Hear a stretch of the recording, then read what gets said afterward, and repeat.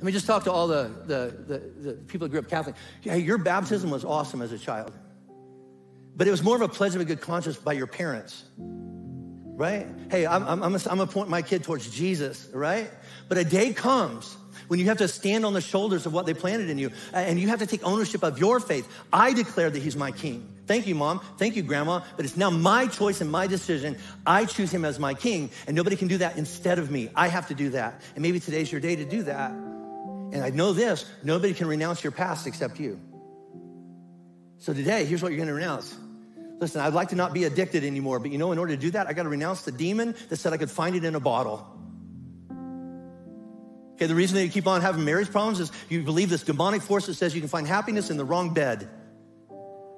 And you can't. And you now know that's a lie because you've lost so much. But, but, but those are behaviors. But there is a force, an evil force behind that that you've actually turned your attention to. And you're going to repent of that and go, I'm, I'm going to look at Jesus now. Jesus is going to define my marriage and Jesus is going to define my sobriety. Jesus is going to define every, every aspect of my life. And let my baptism from this, from, from now on, say, I belong to Jesus.